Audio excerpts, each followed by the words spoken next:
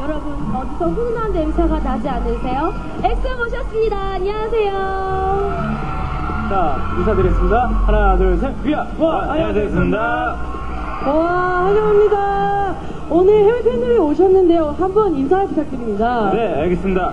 大家好，我们是 EXO，请支持我们的新歌《咆哮》。What's up, everyone? We're EXO. Please support our new song, Proud. Woo!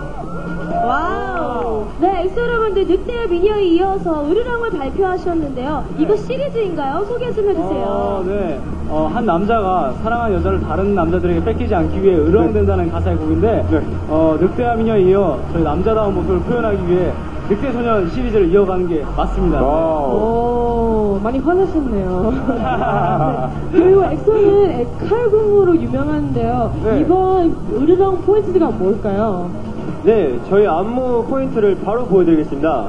하나, 둘, 셋, 넷. 으르렁, 으르렁, 으르렁, 대. 나 으르렁, 으르렁, 으르렁, 대. 나 으르렁, 으르렁, 으르렁, 대. 와우. 네, 저희 안무의 포인트는 일명 고릴라 춤이라고 불리는데, 네, 많이 많이 따라해주세요. 네, 알겠습니다. 오늘 엑소가 여러분